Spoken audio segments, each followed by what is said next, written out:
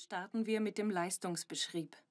Dazu ziehen wir fixfertige Artikelbausteine oder leere Bausteine per Drag and Drop auf das Dokument.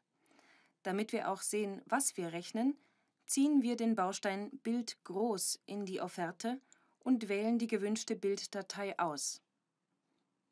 Nun greifen wir zu den Bausteinen von ProCalc. Mit dem ersten Artikel wird gleichzeitig ein Kopf mit Ausführungsvarianten eingefügt. Den Artikel selber kann ich anpassen und ändere hier beispielsweise die Breite. Nun wähle ich den nächsten Artikel. Dann folgt ein zweitüriger Schrank, dann nochmal ein eintüriger. Der Sockel ist bereits mit eingerechnet, wie wir hier aus der technischen Beschreibung sehen können.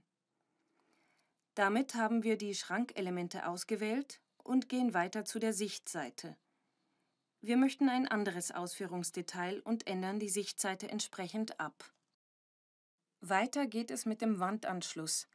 Da der Schrank von links nach rechts beschrieben ist, füge ich ihn am Anfang ein und paramentiere ihn wunschgemäß. Nun möchten wir noch ein Schrankrohr hinzufügen. Diesmal benutzen wir die Suche, um den Artikel zu finden und ziehen das Suchergebnis direkt auf das Dokument.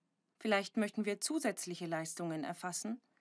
Wir ziehen einfach weiter die gewünschten Bausteine auf das Dokument. Ich wähle beispielsweise einen leeren Artikel für einen Pauschalpreis, beschreibe ihn und füge einen Betrag ein.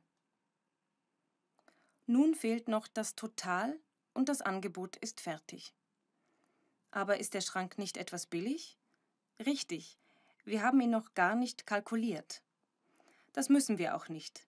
ProCalc erledigt das für uns. Möchte die Kundin lieber eine andere Ausführung, wählen wir einfach die gewünschte Variante und drücken erneut Kalkulieren. Die Artikel werden automatisch neu berechnet.